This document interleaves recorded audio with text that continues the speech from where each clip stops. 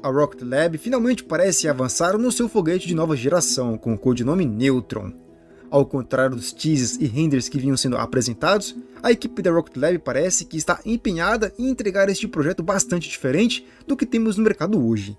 Neste vídeo, vamos explorar um pouco mais das mudanças que ocorreram neste incrível foguete, que promete rivalizar com os grandes do mercado como o Falcon 9 da SpaceX.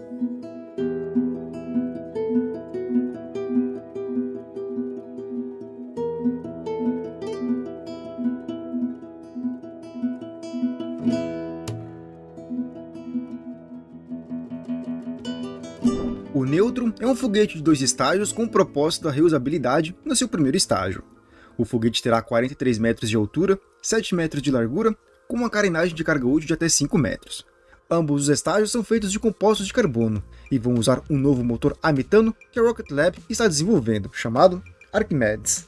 O primeiro estágio terá 9 desses motores, e o segundo estágio terá uma versão otimizada para o vácuo. Bom, vamos analisar o design do Neutron. Peter Beck, CEO da Rocket Lab, afirmou que o processo de design começa nos satélites, já que o foguete está longe de ter uma capacidade de carga grande como um Starship da vida. O foco do Neutron estará principalmente nos CubeSats. Peter Beck afirmou que 80% dos satélites futuros serão satélites pequenos, que vão fazer parte de constelações como os Starlinks da SpaceX. Em partes, o CEO pode estar correto, visto que para os próximos anos terá uma explosão de lançamentos dessas megas constelações. A Amazon quer ter a dela, o governo chinês quer ter a dela, OneWeb, Viasat, entre outras. Com uma capacidade de carga útil de até 13 toneladas para a órbita terrestre baixa, o Neutron atenderá uma faixa específica do mercado de pequenos satélites, praticamente sozinho. Quando observamos todas as cargas úteis que o Falcon 9 lançou fora os satélites Starlinks, quase todas as cargas são bem abaixo de 8 toneladas. Portanto, se o Neutron tiver um custo por lançamento mais barato que o Falcon 9 da SpaceX, ele pode atender a grande maioria do mercado de lançamentos de baixa carga. Se formos pensar em transportes de carga para a Lua, Marte, então o Neutron está fora da jogada. Este foguete deve ser bastante eficiente para lançamentos compartilhados.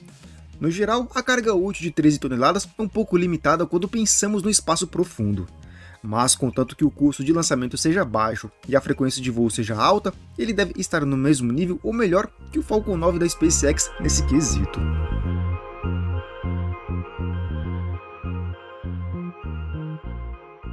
Na parte inferior do foguete o que chamava atenção eram as pernas estáticas que não precisavam se retrair como as do Falcon 9.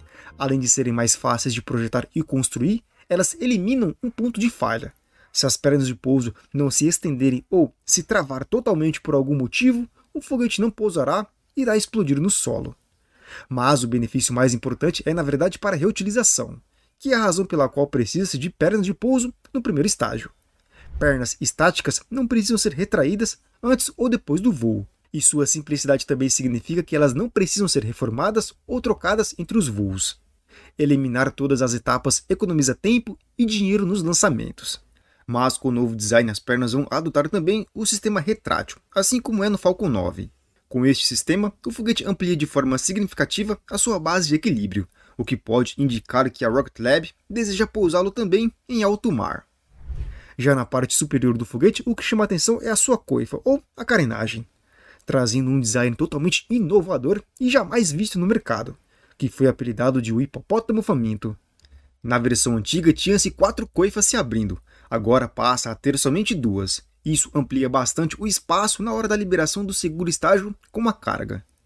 Ao contrário da maioria dos foguetes onde as coifas são soltas no espaço e recuperadas depois, como no caso do Falcon 9 da SpaceX, no Neutron elas são fixas ao primeiro estágio, e dentro abriga-se o segundo estágio e a carga útil. Após o desligamento dos motores principais, o segundo estágio e a carga útil são liberados, e em seguida as coifas ou a carenagem podem ser fechadas, permanecendo conectadas ao primeiro estágio. Este primeiro estágio então retorna ao local de lançamento e realiza sua aterrissagem. Esta decisão de design está alinhada com a filosofia de projetar um foguete orbital barato e semi-reutilizável. Quando seu foguete semi-reutilizável volta de uma missão, você deseja prepará-lo para voar novamente o mais rápido possível. Se ele volta em várias peças espalhadas pelo globo e você precisa de barcos, helicópteros, balsas e guindastes para colocá-lo de volta em ordem de voo, estará comprometendo a vantagem que a reutilização lhe proporcionou. Com o foguete neutro, a Rocket Lab irá recuperar o veículo em uma única peça, pousando diretamente no local de lançamento. Para voar novamente, eles simplesmente precisam inspecionar o foguete e talvez façam reparos mínimos, e então colocam o novo segundo estágio junto com a sua carga útil dentro do neutro e estará pronto para o lançamento novamente.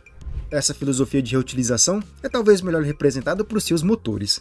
O neutro terá um novo motor a metano para ambos os estágios, chamado de Archimedes.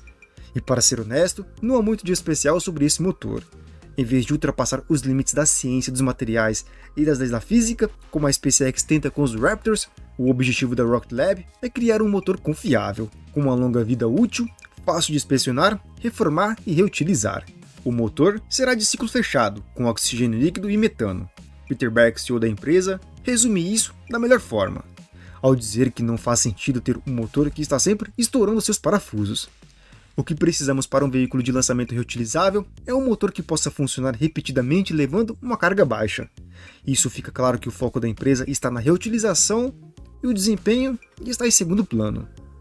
O material escolhido para o neutro será fibra de carbono, Vamos abordar os aspectos positivos e negativos dessa escolha. Quando o foguete se propõe a ser reutilizável, a empresa passa a se preocupar com a reentrada, já que o problema é térmico e não estrutural. O aço é muito superior à fibra de carbono nesse quesito.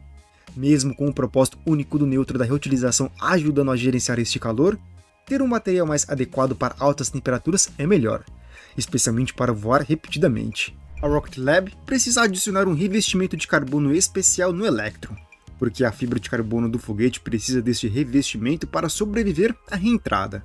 Portanto, embora a fibra de carbono tenha suas vantagens como ser um material extremamente rígido e leve, acredito que a escolha dele já tem a ver com o histórico da própria Rocket Lab, que domina a produção deste material como poucos no mercado aeroespacial. Seus desafios com este material será baratear o custo e proteger o foguete na reentrada.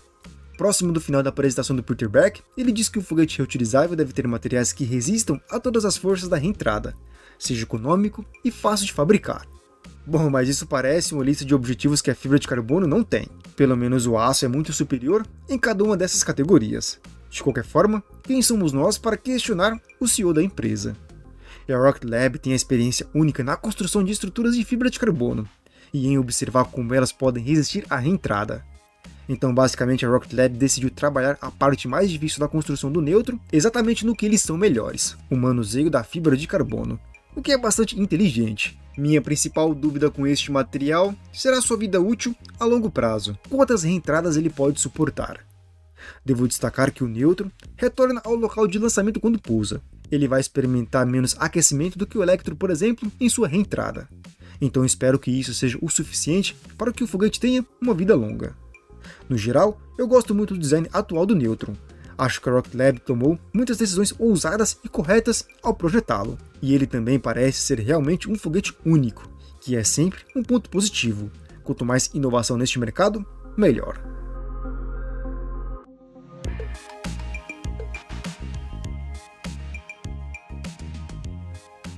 E por último, vamos olhar para o futuro e o presente. Falando do futuro, assim como qualquer outro foguete, devemos esperar mudanças sutis à medida que ele é desenvolvido. Para futuras atualizações, acredito que o Neutron estará pronto para ter uma variante 100% reutilizável. A empresa deixou claro que a primeira versão terá o segundo estágio descartável. Portanto, a porta está aberta para criar um segundo estágio reutilizável de até 5 metros e colocá-lo no lugar das atuais coifas no topo do primeiro estágio. Embora um segundo estágio reutilizável possa ainda mais prejudicar a sua capacidade de carga para a órbita, ele também elimina o custo não apenas do estágio superior, que provavelmente é o maior custo em um voo do Neutron, mas também pouparia a Rocket Lab dos custos operacionais de continuar produzindo esses segundos estágios. Acredito que começar com um segundo estágio descartável é uma jogada inteligente para colocar o foguete em operação rapidamente e atualizá-lo posteriormente. Mesmo com um estágio superior descartável, acredito que o Neutron será muito competitivo no mercado para lançamentos de baixa carga. Olhando para o presente, a empresa adquiriu uma nova área para fazer o seu complexo de fabricação em Baltimore, em Maryland, Estados Unidos, para iniciar a construção dos seus compostos de carbono que atenderá a outras empresas, assim como a demanda de peças para o Neutron. E eles também estão construindo um complexo de lançamento LC3 na Virgínia, também Estados Unidos. O avanço mais recente no seu foguete foi um teste até a falha de forma proposital do tanque de combustível do segundo estágio.